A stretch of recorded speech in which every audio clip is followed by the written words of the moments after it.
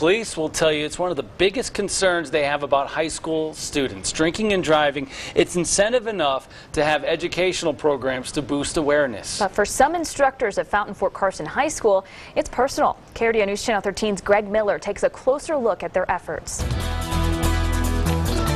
the bottom, raise your arms. Okay.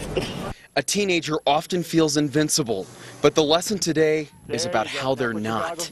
Came to us and wanted to uh, expose their, their, their students to DUI classes and uh, safety belt classes. The lessons they're learning can be the difference between life and death. Just ask Robert Scott, a CSPD volunteer. Because my son was in a bad car accident in 1988. There were seven kids in the car, no seat belts, and two kids died. And my son is still paralyzed in one leg from the accident. Scott considers his son lucky.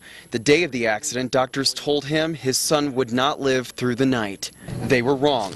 And now he uses that experience to teach kids about driving safety.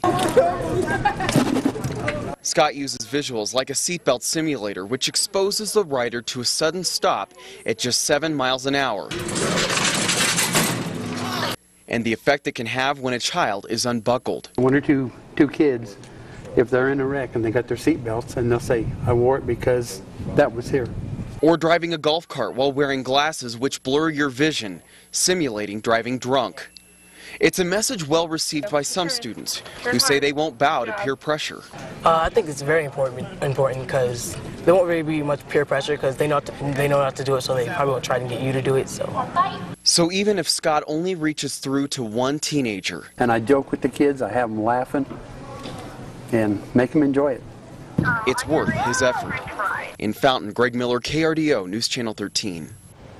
Last year, about 20 kids showed up for the demonstration, but more teachers saw the lesson and wanted their students involved too. School resource officers organized the week-long classes and say that enrollment is up to 60 per class.